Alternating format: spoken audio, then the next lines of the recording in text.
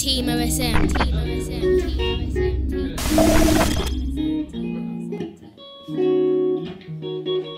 Yo, it's Edweezy. My brother Kane on the guitar. This one's called This Lifestyle's Crazy, you know? So yeah, just listen. Check. Mm.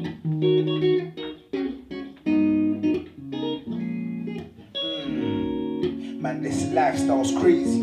It starts like this, man. Everyone's lazy. Nobody knows what somebody could be even going through it. Could be a slide or it could be a tunnel. I mean, at the end of every tunnel, there's another. You can help somebody face the problem through the other line. I mean, picking up a phone to ask a friend if they're cool, if they're calm, if they're blessed like they've been church. And you can take this through one ear and let it pass through to the other ear. But what I'm saying is real. People are feeling neglected, and this is not fair. Most of the time, they feel that the person's just his air. In the minds, they think that nobody even cares. And we can't see through things, so the person's mind's not clear to see. And it's not clear to see when someone ain't doing well. It's not clear to see when somebody's putting on a fake smile. On the outside, looking all bright like a sunshine, but in the inside, they wanna tear it like a scrap paper. There's things we can do, shouldn't, but we choose to. I mean, life can be a jogging journey, and some go way too far. It's like some go way too far from the things they're meant to stay close to. Cause there's people feeling trapped inside like a dark cave. Think before you speak, cause what you say can hurt a person. Even though sticks and stones may break your bones, I'm 100% that words can hurt you too.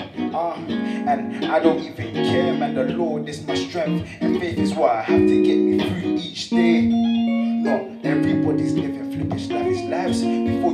something, man, think twice. Life is too short for the passer, so do what you can, cause the clock is just ticking. I mean, people just lie just to fit in, all because the laughs and the pokes and the pickings.